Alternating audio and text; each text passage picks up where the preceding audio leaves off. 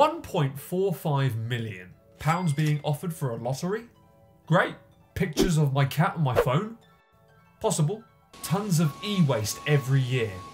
Terrifying.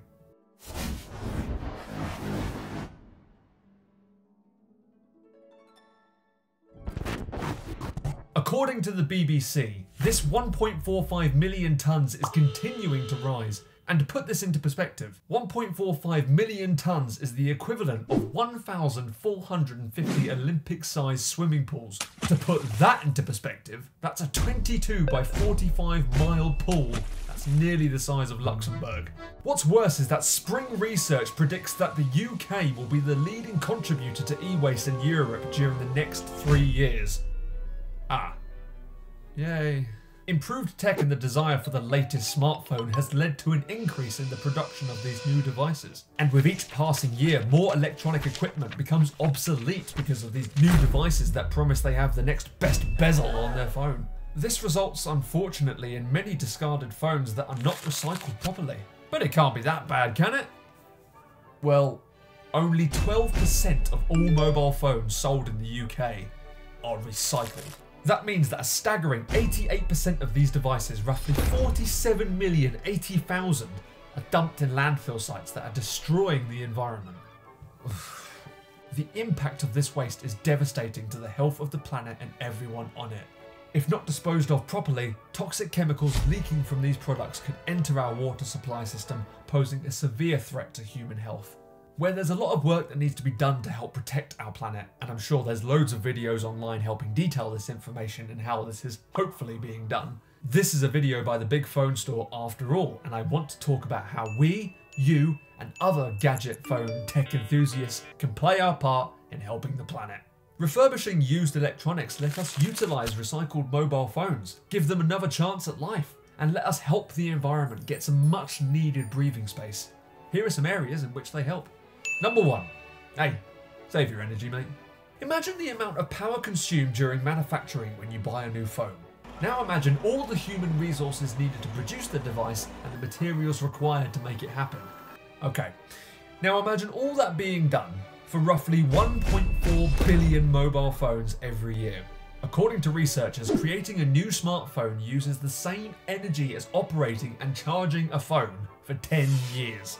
If you buy a second-hand phone, less electricity and less natural resources have been used, the demand for new phones is reduced, the energy demand is then lowered, and to sweeten the deal, you pay less money for the same phone. Pardon my language, but yeah. Number two, fair to the air. With the advancement of smartphones, more resources have to be mined. As a result of this, significant amounts of CO2 enter the atmosphere, contributing to climate change and pollution. It doesn't just stop there too. With production, customer use, and transportation of the goods, that CO2 adds up.